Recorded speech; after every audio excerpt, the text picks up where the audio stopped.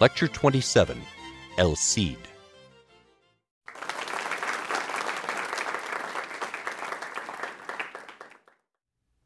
Welcome to the third of our lectures on the literatures of Europe's Middle Ages.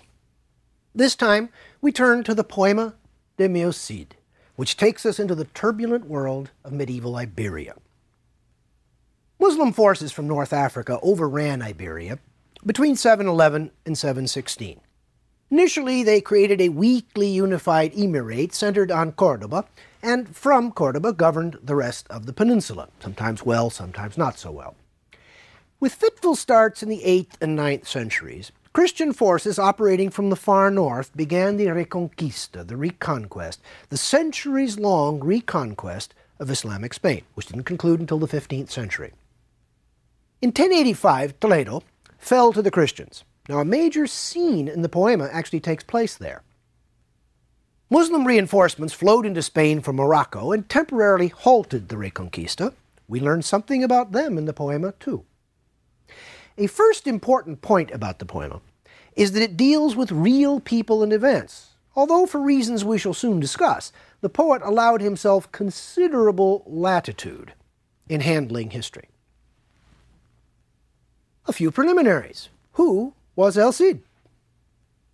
Rodrigo Diaz was born into the lower nobility in Vivar, near Burgos, in about 1043. He served as standard bearer for King Sancho II of Castile at the siege of Zamora in 1072, during which battle actually Sancho was assassinated. Sancho's brother and bitter foe, Alfonso VI, who reigned from 1065 to 1102, became king of Leon and then added Castile.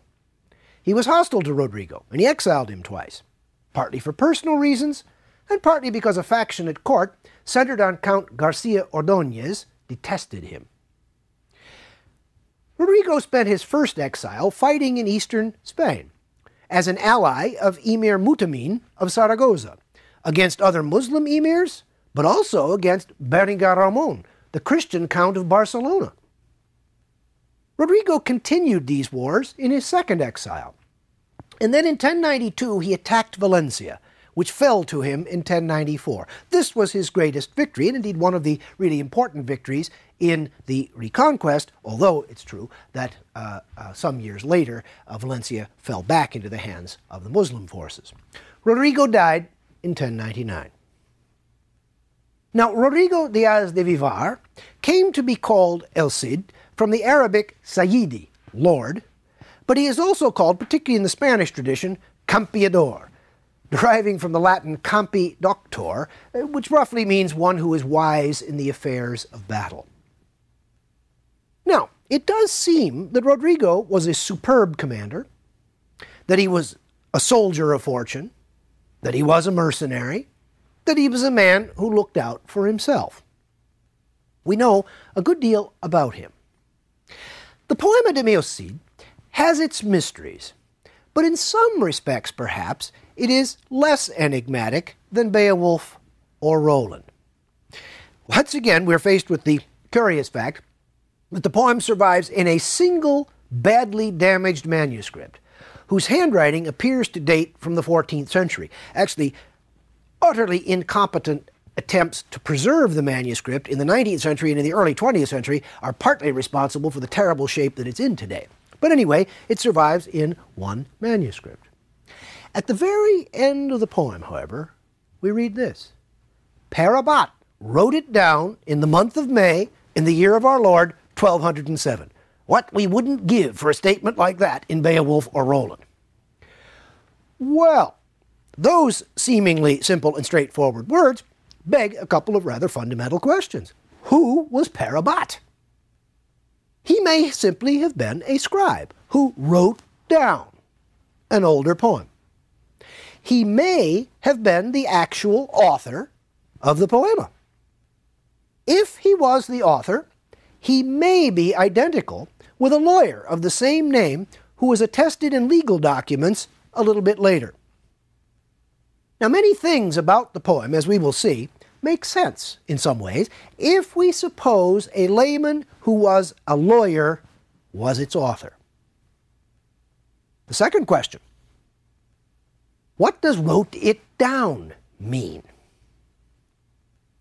Well, scholarship on El Cid is marked by the same traditionalist versus individualist controversies as attach to Beowulf and Roland.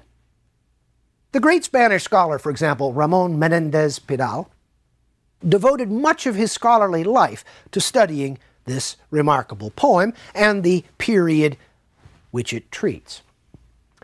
He believed that it was early, dating from about 1140, probably based on earlier works, both Latin histories and Spanish poems.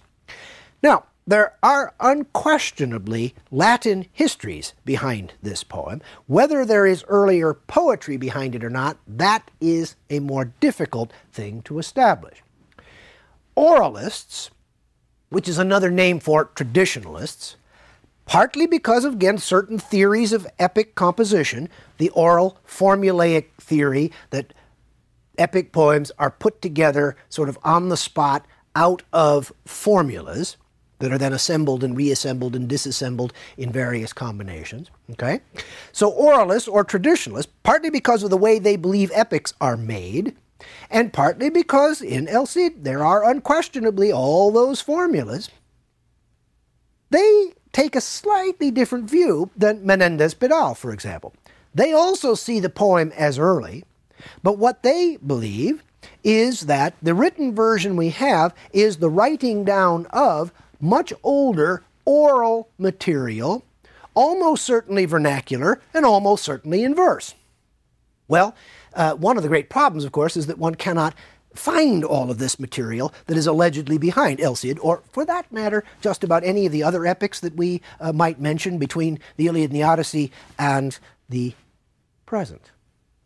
Now, an alternative thesis has been proposed by Colin Smith, who is the professor of Spanish in Cambridge University in England. He says this The poet was a literate, well informed, and cultured man who composed in writing with a full awareness of the basis of his craft as it had been devised and developed in French.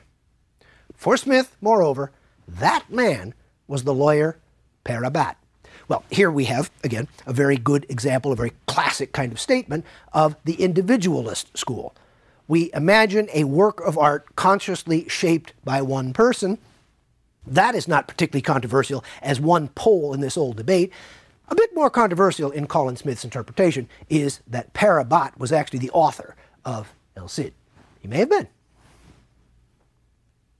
El Cid is the oldest epic in Spanish, and it's the only reasonably complete one.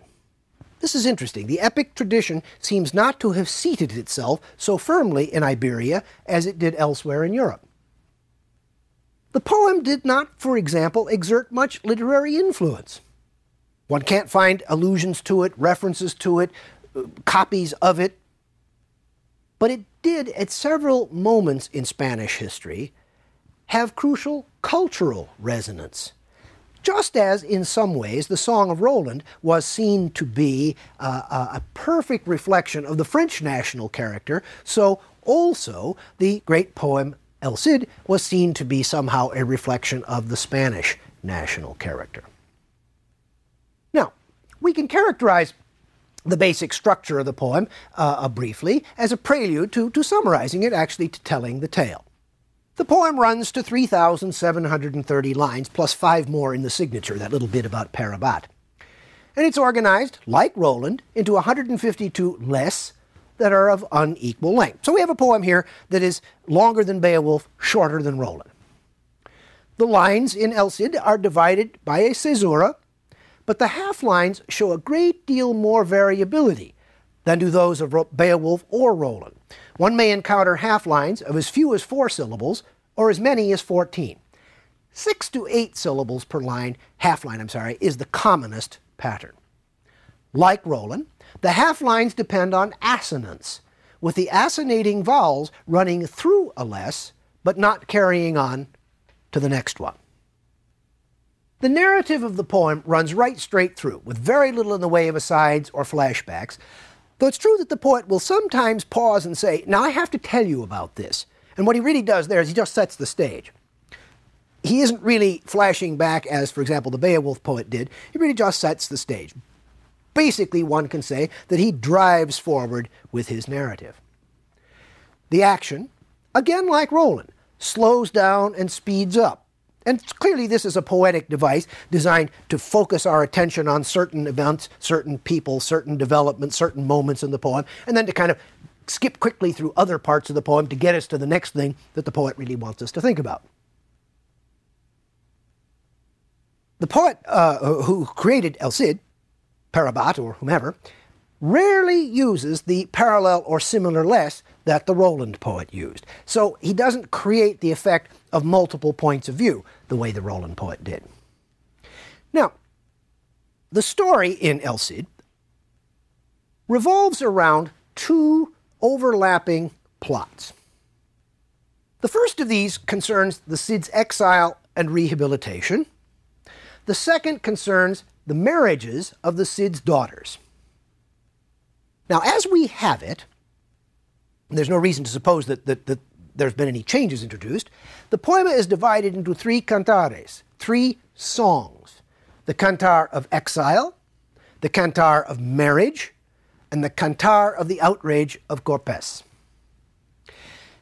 It's interesting to note that the cantares and the basic plot structure don't jibe. It's been suggested that the cantares may be how much of the poem was sung at a given time. Now, we don't know that for sure, okay? Again, as with Roland, the poem was meant for oral presentation. Indeed, it was meant to be sung. But we have no idea what it sounded like, and we never will. We can read it on the page, but we must remember we were meant to hear it, and we were meant to hear it sung. Now, let's tell the story of the poet's, perhaps Per Abbat's, story of Rodrigo Diaz de Vivar, El Cid. As the poem opens, Rodrigo is departing Castile for his exile. Now, it's, it's a quite remarkable progress that he makes out of the kingdom of Castile and into the east of Spain. He accepts his unjust fate, and we're under no uh, illusions here. His fate was unjust. He was done in by factions at court. We'll have more to say about that in a moment. But he accepts this fate with dignity and resignation. He accepts it almost as a gift God has given him to prove himself. Now, everywhere he goes, people profess their love and admiration for him, but they tell him that because of a powerful edict by the king, they simply cannot help him. That anyone who helps him is uh, leaving himself open to arrest and perhaps indeed to execution. Well, the Cid crosses over into Muslim territory. He takes a few frontier cities right on the boundary of Castile, and then he begins a series of brilliant campaigns against the Muslim princes in the east of Spain, the area called then, uh, and in the poem, the Levante. His initial band of, oh, 60 or so followers, something like this, swells to several thousand as he is going from one victorious battle to the next. Now, there may be reason for this. After every battle, the Cid generously shares the spoils. He makes his followers rich and famous. Their tales are told, their stories are sung. Here we have something again that reminds us of Beowulf and that reminds us a bit of Roland as well. You want glory and you want the cash.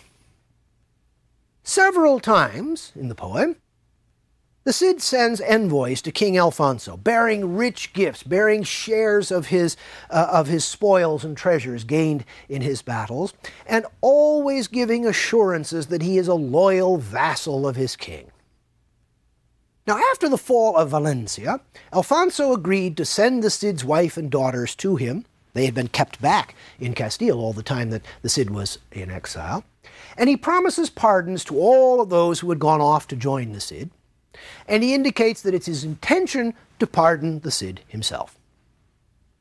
Meanwhile, at the court, the infantes, that is to say, the heirs of Carrion, Diego and Fernando, begin to scheme to win the Cid's daughters as their wives. They're, they're saying, you know, this Cid guy's getting pretty famous and he's a pretty important guy and it would be a good marriage for our daughters, or for, for our sons to marry the Cid's daughters. Well, the king accepts the plan, as does the Cid, but the Cid has some real misgivings here. In fact, it seems pretty clear that had not the king accepted the plan, the Cid would not have done so. The point being, of course, that the poet is showing the Cid as the loyal vassal, as the good, faithful servant of his king. Well, the Infantes travel to Valencia, and the marriage is celebrated amidst joy and celebration. Quite a quite a lovely scene of the uh, uh, entire wedding celebration. Now, the Infantes stay there with uh, the Cid and his family, and one night, a little later, in the Cid's palace, a pet lion escapes. He'd been kept in a kind of a netted cage, and he, he escaped. And, and in, a, in a scene that is actually humorous, uh, but that we are also meant to take very, very seriously. The Infantes are utterly terrified by this by this pet lion, and they hide and they hide under the furniture, and and and they're really made to look buffoonish but more than that, they are made to look like cowards. Now, this is not something that a warrior aristocrat wants to do, is to appear to look, uh, uh, as a coward. Now, a little bit later, in the face of battle, in the face of the enemy, the Infantes again proved to be cowards.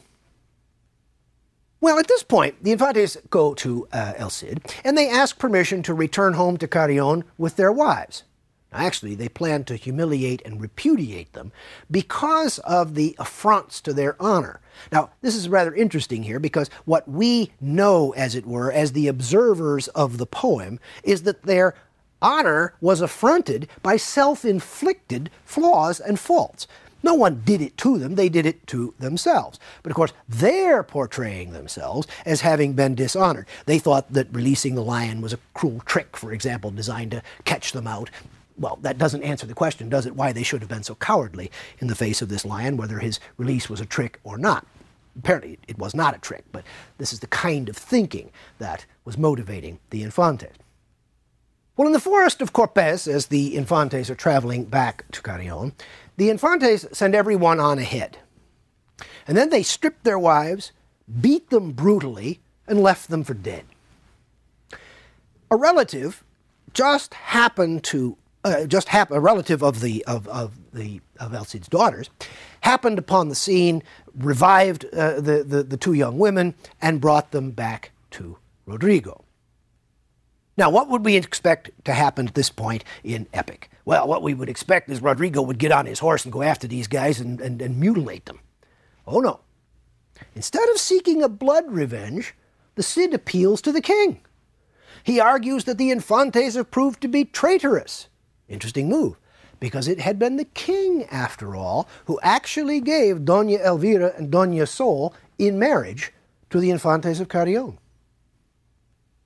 Now, at court, abetted by the duplicitous Count Garcia, the Carrion faction argued that they had made an unequal marriage, that the Cid's daughters were not of their social class, and that they had a perfect right to repudiate their wives, and argued that doing so. And indeed, even the way they did so, treating them like mongrel dogs, brought them honor. Now, this is the sort of thing that is horrifying to us as we read the poem. But we have to realize that in the context of the poem, this argument was not absurd. So it tells us something about the kind of aristocratic values that motivated people in the Middle Ages, Though it seems pretty clear that the poet is not here inviting us to accept the argument of Garcia Ordonez and the Infantes of Carrion, but he does represent their argument as a reasonable sort of position. Alfonso was deeply aggrieved by all of this. Uh, again, I mean, he has not been particularly keen on the Cid uh, all, all, the way through, but he, he really does feel that something has gone terribly awry here, and he had, after all, given away uh, the two girls in marriage to the Infantes. So he summons a great court to meet in Toledo to adjudicate the matter. Now, we have a, a wonderful and richly detailed description of the legal proceedings, of the judges, of all of the pleadings in the case, of the kinds of documents presented in the case. And, and, and the Cid comes forward uh, one after another with, with basic proposals, insisting on really guarding his own safety. After all, he had been in exile for a long time. And you'll remember that the king had said he intended to pardon the Cid. He had sent him his daughters and wife. He had sent, uh, he had pardoned a number of those who had gone off to fight with the Cid. But the Cid is still not quite sure of his position, and he knows there are people at court who hate his guts. So he, he goes through a whole series of legal maneuvers to, to satisfy his, his own position, to, to guarantee his own safety. Finally, of course, he insists that there will be a trial by battle. Now, we have a scene that, in other words, like not uh, uh, at all unlike the one in Roland. Now, let me just pause here and say this is this this remarkable account of this trial is part of what has led scholars like Colin Smith to see that a layman who was a lawyer may very well be the kind of author who's behind this poem.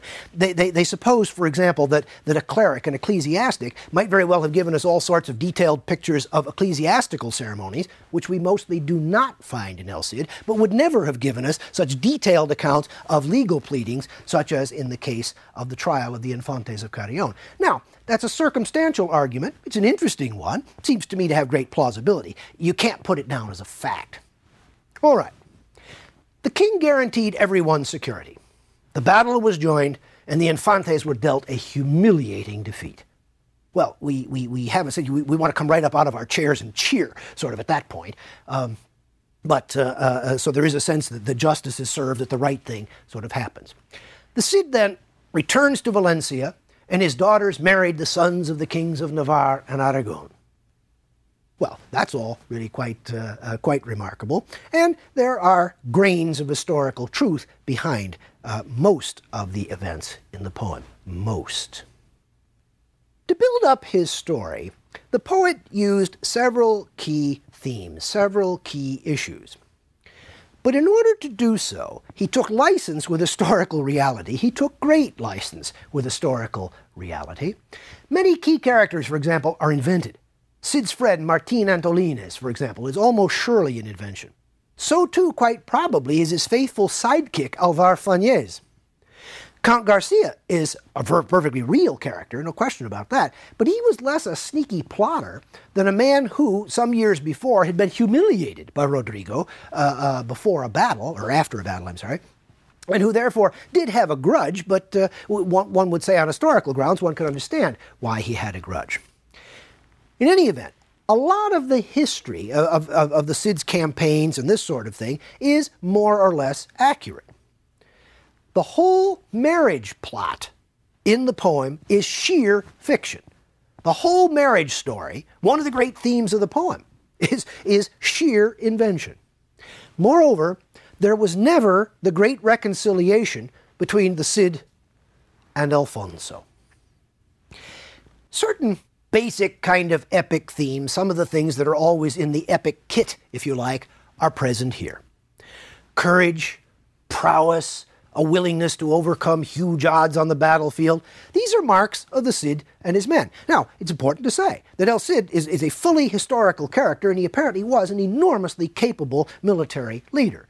But we also have a sense in the poem that the truth is just stretched a bit. Now, it's interesting to notice, too, however, that the poem has in it nothing of the miraculous and magical, except Perhaps there's one scene when the angel Gabriel appears to the Cid in a dream. Now, what's interesting is, of course, you're never responsible for things that happen to you in dreams. So Gabriel appears to Cid in a dream and assures him that in this life he will always be successful.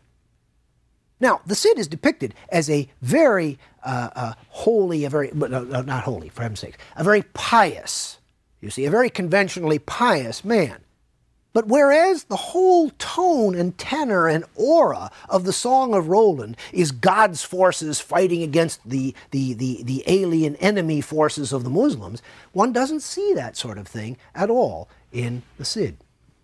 Now, there are some scenes and some characters that are clearly patterned on Roland in whatever form the poet knew it. I mean, it's perfectly clear that the poet, the, the Cid poet, knew the Song of Roland. We might say, for example, that the aristocratic tone of Roland, and even to a degree of Beowulf, however, is absent. Aristocratic punctilio is always observed. Nobles always do exactly what they're supposed to and say what they're supposed to and behave in the ways that we would expect them to do. The courtly aspects of nobility are there. But in the poema, Almost without exception, nobles are selfish, greedy, duplicitous, dishonorable. The poet appears to be making the point that nobility is a matter of character and not of birth. Now, as in all epics, honor is a central concern. The Cid is concerned about his honor. The Cid is very concerned about his honor. The Infantes of Carrion, in their bizarre fashion, are concerned about their honor. Garcia Ordonez is concerned about his honor. King Alfonso is concerned about his honor. And yet, all of these different honors, if you will, come into conflict with one another. They bump up against each other. They are not uh, uh, comfortably seated next to one another in this poem. We saw that Beowulf was lofgeornost, that is, a most eager for praise, and that Roland at first refused to blow his horn. So there, there's nothing surprising here. It's interesting that the Cid wins honor and fame by his own actions. We don't have a sense of the remote past where these things have then lived on in popular memory, and certainly nothing is to be attributed to help, to birth, to station, to rank. This, this guy goes out, in a sense, makes his own career. In the end, what I think we can say is that the poet has here brilliantly created a new kind of epic hero. The Cid is far more than the great battler who always wins. All right? He is that. There's no question about that. But he is much more than that. If we ask ourselves really about Roland, or we ask ourselves about Beowulf, one of the things we would have to say is we don't get to know them. We don't really get to know them. What were they like? We don't really know that. With the Cid, we certainly know at least what the poema presents us with. We come to feel we know him very well. Now, we see him through the eyes of the poet but at least we see him clearly. Now, context may very well be important here. In the 12th century, the Reconquista had not gone well. In 1195, for example, the Christian forces suffered a devastating defeat. The poet, it appears, wanted to encourage honorable Christian soldiers to enlist in the war against Muslims instead of indulging their taste for court politics and for a life of leisure. He certainly emphasizes, too, that one could win fame and fortune fighting on the frontier. Now, what the poet does, then, is create a new kind of civic ideal. All right, the Cid is a great warrior. There's no question about that. But he's a number of other things that we wouldn't necessarily expect an epic hero to be. He's an exemplary husband and father. He is a true friend. He's a generous sharer of spoils. He is always, always loyal to his totally undeserving king. He's cheerful and even uh, uh, uh, uh, uh philosophical in the face of exile. As I said, he, he views this in some ways as a gift God has given him to test him, to let him prove what kind of a man he is. He is always reflective. He is always prudent. He's always marked by precisely the mesure that Roland so conspicuously lacked. If you take just one wonderful example of this, when, when, when his poor daughters are brought back to him after, the, after they've been outraged, he doesn't go after the guys. He files a lawsuit. Maybe in that way he's very much a 21st century kind of guy. But that would be a story for a different day. It's fascinating to compare the trial of the Infantes with that of Ganelon. In Ganelon, we have, in, in Roland, I'm sorry, we have an aristocratic world, a world of men, a world of knights, a world of royal values. The trial scene in Roland runs about a hundred lines. In the Cid, the trial scene runs about 450 lines and is very richly textured. This, again, I want to emphasize is this sense of a civic hero. This is the way the world ought to be. You ought to play by rules, but not the rules of these sort of despicable aristocratic bad guys, but rather the kind of rules that, that govern, that operate, that make a successful society function. The poet throughout has a very powerful sense of a very great claim to verismo, truth. But for him, truth is wrapped up in character, not in the details of history. Or history can be retold in certain ways to tell truths greater than the mere facts the ordinary facts, the day to day events. So he could invent whole stories, the whole story of the daughters uh, uh, of the Cid and their marriage to the Infantes of Carrion. He can invent whole stories because they tell truths, even if they are not true. In taking our leave, then, of this remarkable and fascinating character El Cid, we just look forward to our next lecture where we will take up romance, where yet other kinds of truths are depicted.